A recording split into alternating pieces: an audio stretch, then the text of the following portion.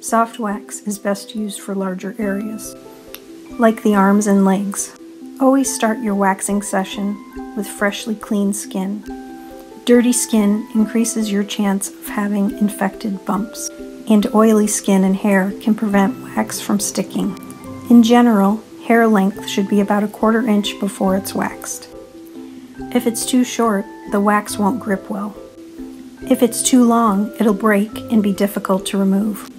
Steps for waxing 1. Cut longer hair if necessary. 2. Cleanse with pre wax solution. 3.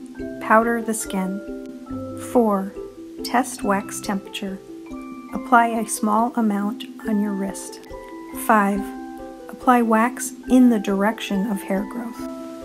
Never double dip your applicator into the wax pot. 6. Place the Pellon and remove in one quick motion in the opposite direction of the hair growth. 7. Apply pressure upon removal to the area. Why? Because there are more pressure sensors than pain sensors in the skin. 8. Apply the post-wax solution after completing the treatment. Remember, pinpoint bleeding is normal.